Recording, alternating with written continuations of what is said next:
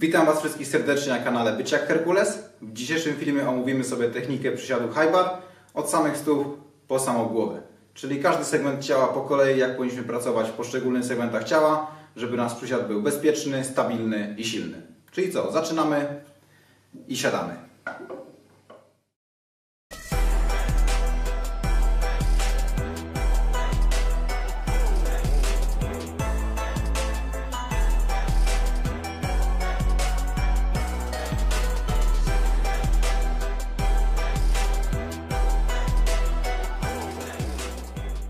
Zapewne część z Was, którzy są e, starszymi widzami, dłużej śledzą ten, ten kanał, stwierdzą, że ej Radek, przecież na kanale już była analiza przysiadu high bar od stóp do głów i faktycznie była taka analiza przysiadu e, jakieś pół roku temu, może z haczykiem, ale stwierdziłem, że po pierwsze e, jest, mam teraz lepsze warunki do nagrania tego materiału, bo mogę nawet mówić w trakcie wykonywania przysiadu właśnie na temat zagadnień technicznych, a po drugie ludzie wciąż bardzo źle wykonują ten przysiad, codziennie widać karygodne błędy na siłowni, Także no, czuję powinność, że muszę ten materiał nagrać jeszcze raz i też po prostu uważam, że będzie to lepiej wyglądało jak wszystkie materiały, a będzie ich więcej, będzie wiele ćwiczeń, to od Was zależy e, jak szybko, jak często będą się pojawiały te filmy jakie ćwiczenia będziemy sobie omawiać, także piszcie to w komentarzach. No i będzie lepiej, jeżeli te filmy będą nagrywane po prostu na siłowni, gdzie między seriami mogę z Wami e, rozmawiać i pokazywać pracę w poszczególnych segmentach ciała. Także stwierdziłem, że zrobię to jeszcze raz. Mam nadzieję, że wyjdzie mi to lepiej. Możesz napisać w komentarzu, czy mi to lepiej wyszło. Możesz też napisać, ile, jest, e, ile wynosi Twój max w przysiadzie high bar. Dać łapeczkę w górę i co? Zaczynamy. Mówimy, jak dobrze, silnie, bezpiecznie siadać.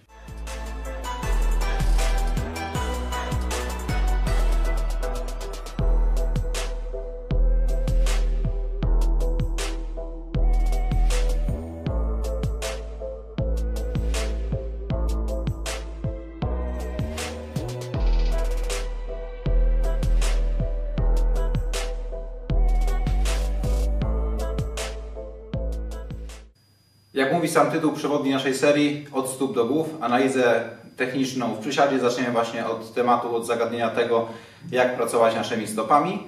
E, jak widzicie, może mam na sobie takie bałwanowe świąteczne skarpetki mocy. Idealnie będą pasowały do e, tego przedświątecznego klimatu, ale nie mam ich tylko po to, żeby był klimat na treningu, na nagraniu, ale też po to, e, żeby po prostu lepiej pokazać zagadnienie techniczne pracy stopami, Mm, bo stopy to jest bardzo ważny element, bardzo ważny segment w przysiadzie. Zatem co, zaczynamy. Stopy jest to podstawa naszego ciała w przysiadzie. Bez e, stabilnej, silnej stopy po prostu nie będzie stabilnego i silnego przysiadu. Całe e, jakby braki napięcia, braki kontroli w tym segmencie ciała będą się przynosiły wyżej na całą sylwetkę. Przysiad będzie tylko niebezpieczny, ale też słaby. Także jak tymi stopami pracować, jak je układać? Jeżeli chodzi o rozstaw stóp na podłożu, e, to powinny być ustawione mniej więcej na szerokości naszych bioder, lub nieco szerzej. Dodatkowo stopy ustawione są względem siebie równolegle, stopa obok stopy lub też wprowadzamy lekką rotację zewnętrzną około 15 stopni. Jeżeli chodzi o takie, bardziej dokładne ustawienie stóp dla każdej z osób z osobna, no to po prostu mm, jakby nie ma takich wskazówek co centymetrów jakichś książkowych, jak szeroko stanąć, jaki powinien być kąt e, tej rotacji w stopie. Tylko tutaj wchodzi w grę praktyka, eksperymenty i po prostu sprawdzić sobie tą wersję przysiadu, która dla Was będzie E, mobilna i stabilna. Wykonujecie kilka różnych wariantów przysiadu, kilka różnych wariantów, jeżeli chodzi o szerokość rozstawu nóg, e, o to, czy one są równolegle, czy jest jakaś rotacja. E, może być z masą ciała, wykonujemy 5-10 powtórzeń i szukamy po prostu takiego przysiadu, gdzie zejdziemy jak najgłębiej, jak najstabilniej, będziemy mieli zachowane naturalne krzywizny kręgosłupa, nie będą nam się zapadały kolana. Po prostu będziemy czuli, że ok, to jest przysiad dla nas. Tak, więc to trzeba po prostu sprawdzić. Jak mamy już e, obadany temat, jak szeroko powiedzmy stawać, to teraz pojawia się ta kwestia pracy stopą. Co to w ogóle znaczy e, to zagadnienie? Otóż e, w stopie jest dużo mięśni, dużo struktur, które odpowiednio napięte będą przekazywały napięcie mięśniowe i potencjał siłowy na resztę ciała. Co jest naszym zadaniem podczas wykonywania przysiadu? Chcemy zwiększyć łuk stopy, dzięki czemu stopa będzie lepiej po prostu napięta, jeżeli chodzi o te struktury mięśniowe i będzie lepiej chwytała podłoże. Poniekąd e, celowo użyłem tego sformułowania, bo rzeczywiście chcemy stopami chwycić podłoże. Naszym zadaniem jest e, stworzenie większego łuku w stopie, Wciskamy po prostu w ziemię mocno e, duży paluch, zewnętrzną krawędź stopy oraz piętę. Są to trzy punkty styku, które stale muszą się stykać z podłożem. Te trzy punkty styku nie mogą się od podłoża oderwać, czy to podczas fazy ekscentrycznej czy koncentrycznej. Cały czas mocno wciskamy w podłoże duży paluch, zewnętrzną krawędź stopy oraz piętę. E, dzięki temu właśnie nam się zwiększa łuk w stopie i możemy tą, stopą, tą stopą powiedzmy chwycić podłoże, zastać się jak przystawka. Nie chcemy, żeby nasza stopa leżała flakiem, a właśnie to, te podłoże chwytała. Dodatkowo warto jest e, robić rotację zewnętrzną stopy, tak byśmy się chcieli wkręcić stopami na zewnątrz. E, to jeszcze zwiększy nam ten łuk w stopie i jeszcze stabilniej silniej będziemy na tym podłożu stać i to napięcie będzie się fajnie przekazywało do góry.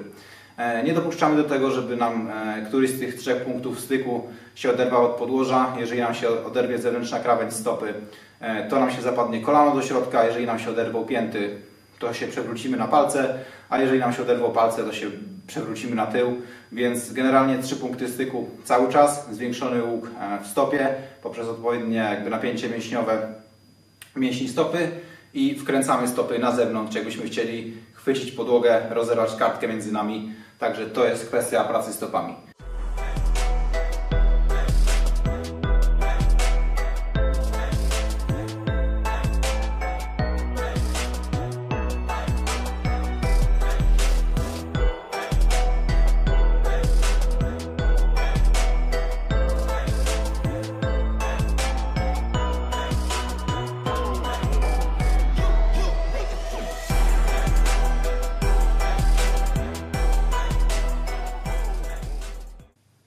Jeżeli chodzi o segment naszych kolan w przysiadzie, zaczniemy od kwestii, która jest owiana największą ilością mitów, legend i wielu teorii spiskowych, czyli to, czy kolana mogą wychodzić przed linię palców.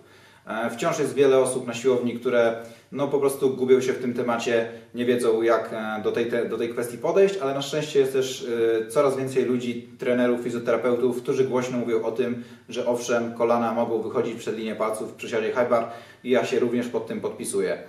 Kolana mogą wychodzić przed linię palców i często nad muszą wychodzić przed linię palców, w zależności oczywiście od budowy danej osoby. E, po to, żeby ten przysiad był w pełni mobilny, stabilny, żebyśmy zeszli wystarczająco głęboko, żeby zaangażować wszystkie grupy mięśniowe, e, żeby sztanga stale przemieszczała się mniej więcej w środku ciężkości, czyli nad, nad naszą stopą, na środkiem naszej stopy.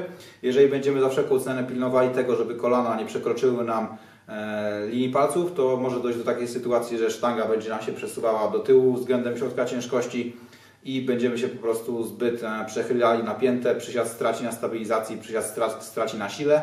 Także e, kolana mogą wychodzić przed linię palców, e, nie tylko po to, że jest to jakby wymagane mobilnościowo, żeby ten przysiad był wystarczająco głęboki, stabilny, ale też dlatego, że po prostu w życiu codziennym nasze kolana często narażone są na tą pozycję, powiedzmy.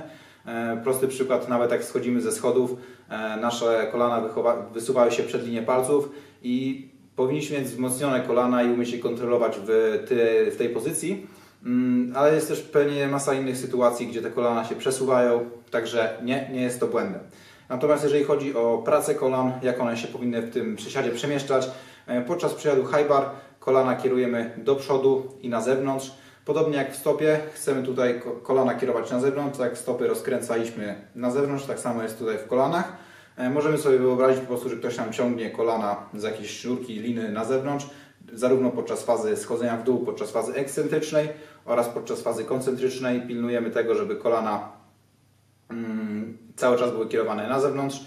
E, jakby zapadanie się kolana do środka oczywiście jest błędem i pewnie już to słyszeliście, tylko też trzeba zapamiętać, że to, że kolana zapadają się do środka, to nie jest wina często samego kolana, bo kolano nie ma takiej funkcji, że się zgina do środka, tylko jest to na przykład wina tego, że źle pracujemy stopą, na przykład jak nam się zapadnie stopa do środka, to kolano się zapadnie do środka. Także no często właśnie błąd jest w podłożu. Kolana mamy omówione, przechodzimy sobie wyżej do rejonu bioder.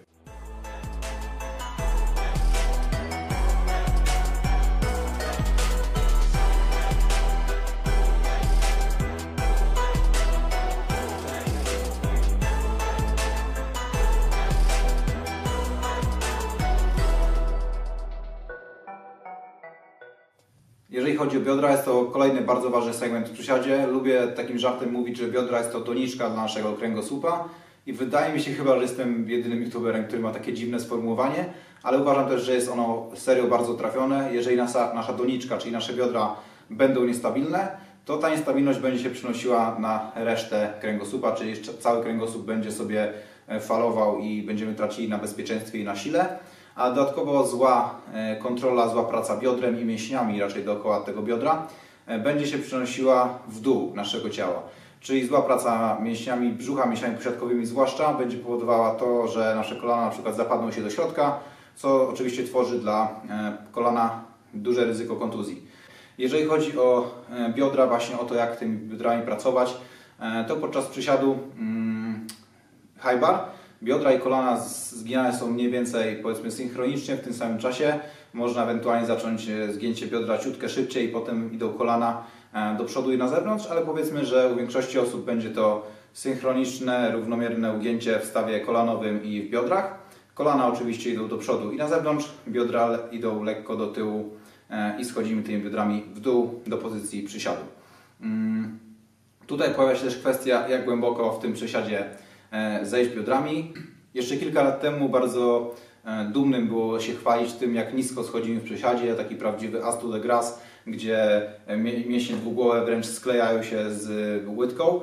Mm, I fajnie jest umieć taki przysiad mobilny wykonać, mieć na tyle jakby porozciągane grupy mięśniowe, żeby rzeczywiście umieć zejść do takiego fajnego, mobilnego, głębokiego przysiadu, ale nie zawsze jest to pozycja e, silna i bezpieczna. Powinniśmy tak nisko schodzić w tym przysiadzie, dopóki czujemy, że wszystkie grupy mięśniowe e, są cały czas silne, napięte i gotowe do wystrzelenia w górę. E, nie możemy doprowadzić do sytuacji, gdzie pojawia się batwing, podwija nam się biodro, gdzie tracimy jakieś naturalne krzewizny w kręgosłupie, a często jeżeli zejdziemy za nisko w przysiadzie właśnie to tak się dzieje. Zapada nam się na przykład stopa, tracimy łuk w stopie, zapadają nam się kolana do środka, podwija się miednica, e, zaokrągla nam się odcinek piersiowy w kręgosłupie, dostajemy garba i ten przysiad jest głęboki, ale co z tego, skoro w ogóle nie jest e, stabilny. Także przysiad mobilny, a przysiad stabilny to jest co innego. Mm, ważna kwestia odnośnie wstawania w górę. Zawsze mm, na górze wykonujemy tak zwany lockout, czyli dopięcie mięśniami posiadkowymi, zablokowanie e, bioder. Wiele ludzi robi taki błąd, że tylko siada góra-dół, używając powiedzmy samych mięśni czworogłowych i w ogóle nie robi na górze dopięcia e, pośladkiem. Sam byłem wśród tych osób i ten pośladek przez lata e, się po prostu nie rozwijał, więc na górze ważne jest, żeby ten posiadek mocno ścisnąć, jakbyśmy coś chcieli właśnie zgnieść posiadkami, także na górze wstajemy, dociskamy pośladek i to jest dopiero zakończony przysiad. Kolejnym segmentem ciała na naszej liście w analizie technicznej przysiadu będzie odcinek lędźwiowy, okolice mięśni brzucha, tutaj cały kor. E, co jest ważne, jeżeli chodzi o ten segment ciała? Przede wszystkim oczywiście utrzymanie napięcia w mięśniu prostym brzucha, mięśnie skośne brzucha, odcinek lędźwiowy, cały mięsień poprzeczny, e, tak żeby nasze lędźwia były po prostu usztywnione, bezpieczne, silne, ponieważ pamiętamy, że napięcie mięśniowe się przekazuje między poszczególnymi mięśniami. Jeżeli będziemy mieli słaby, niestabilny kor, będą niestabilne plecy, o czym zaraz sobie porozmawiamy, że to też wcale nie, nam nie służy. No i też dół ciała też będzie słaby, także pilnujemy napięcia e, w całym korze. Oprócz tego ważna kwestia, oczywiście też mam nadzieję, że słyszeliście, oddychanie. E, podczas przesiadu chcemy umieć zastać się tym powietrzem e, do jamy brzusznej i utrzymać to powietrze w sobie na przestrzeni całego ruchu. Zastanie powietrza ułatwi nam spięcie sylwetki. Tutaj taki przykład z życia wzięty, jakbyśmy chcieli popchnąć na przykład samochód, to się ześciemy powietrzem i dopiero będziemy pchali. Raczej nie będziemy pchali z samochodu na takim flaku bez wciągniętego powietrza, tylko właśnie się zassamy jak balonik i będziemy pchać ten samochód. Także tak samo w przysiadzie zasysamy się, zaciskamy powietrze w sobie, dzięki czemu łatwiej jest nam napiąć mięśnie brzucha, mięśnie kor i dopiero w tym przysiadzie schodzimy w dół. Ta zasada tyczy się też innych ćwiczeń wielostawowych, ale o tym oczywiście w momencie, gdy inne ćwiczenia będziemy sobie omawiać. E, I tak, zasysamy sobie to powietrze, zaciskamy je w sobie, schodzimy w dół, wstajemy w górę i dopiero wypuszczamy powietrze. Ważna reguła, żeby nie wypuszczać powietrza w trakcie ruchu. Jeżeli ja bym wypuścił powietrze w połowie przysiadu, to jest ryzyko, że ja się rozluźnię, wypuszczając powietrze po prostu rozluźnię mięśnie brzucha na przykład i odcinek lędźwiowy będzie w niebezpieczeństwie, narażony na kontuzję, przysiad straci na stabilności i na sile. Także pamiętamy odcinek lędźwiowy, napięte mięśnie e, dookoła odcinka lędźwiowego, umiejętność oddychania przeponowo, e, zatrzymanie powietrza w sobie na przestrzeni całego ruchu. Czy to faza ekscentryczna, czy koncentryczna. W trakcie, gdy się przemieszczamy, to powietrze mamy w sobie, co nam ułatwia spięcie sylwetki. Przechodzimy sobie wyżej, odcinek piersiowy i łopatki już zaraz.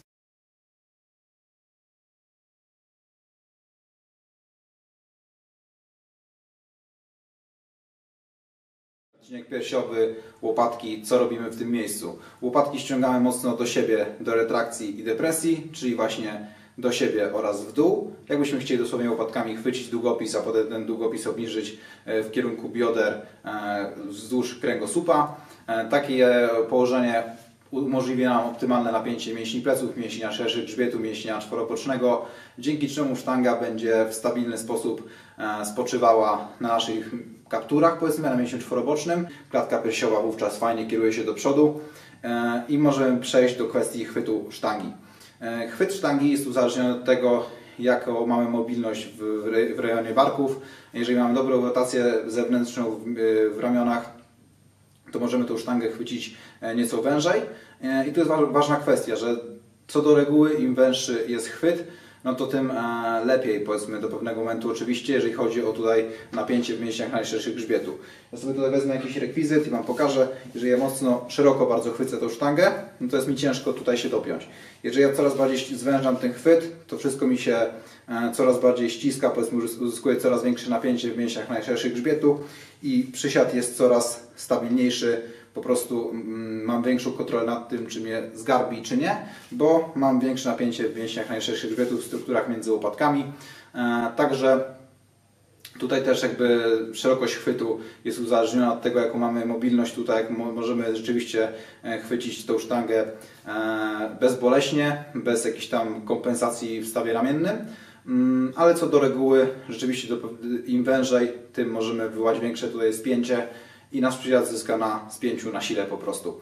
E, pamiętamy również, żeby nadgarstki nie były jakoś mocno wygięte, e, bo to również stwarza jakiś e, ból, jakiś konflikt tutaj w nadgarstku i też tego unikamy. Staramy się po prostu, może też to będzie widać, łamać sztangę na sobie również nadgarstkami tu do środka, żeby wszystko tutaj się fajnie napinało.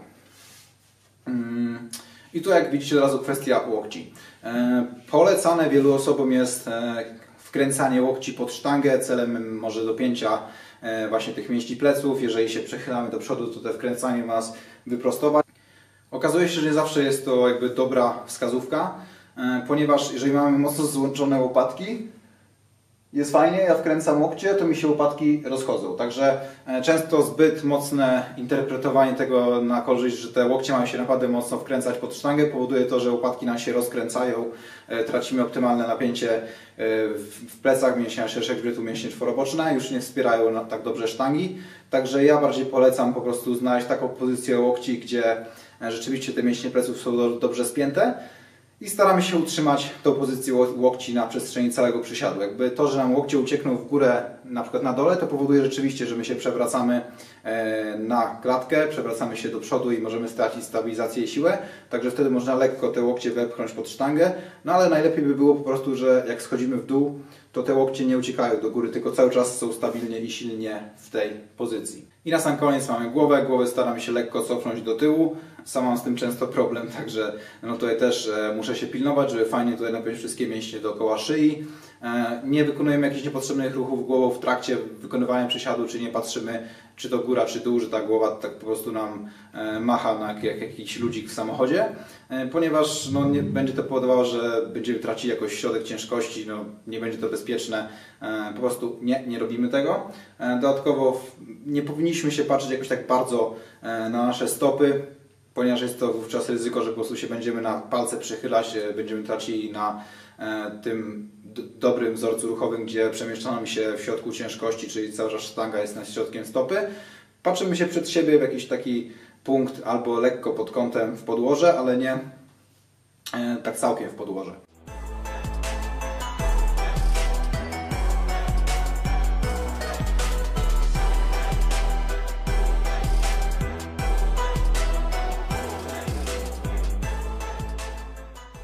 Liczę na Wasze łapeczki w górę, jak jeszcze nie robisz, to subskrybuj, serio pomaga mi to i motywuje mnie do dalszych nagrań.